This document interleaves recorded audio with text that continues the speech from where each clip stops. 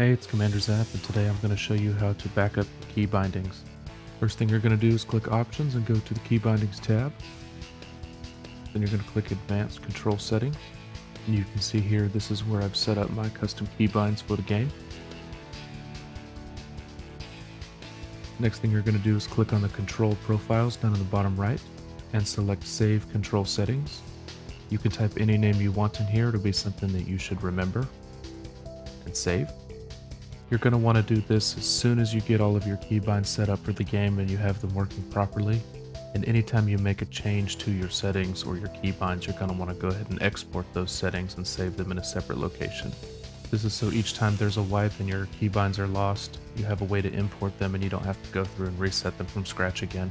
Once you've saved and you've exited out of the game, just navigate to your C drive, program files, Roberts Space Industries, and click on the Star Citizen folder. Click on the Live folder.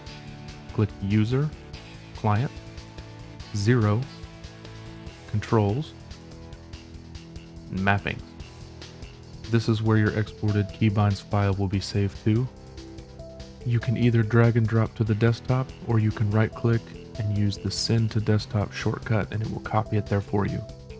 After the next wipe, or if you want to revert to a previous backup, all you have to do is drag that file to your mappings folder, load up the game, select Options, Keybinds, go down to Advanced Controls Customization and Control Profiles, and then find your custom settings in your list.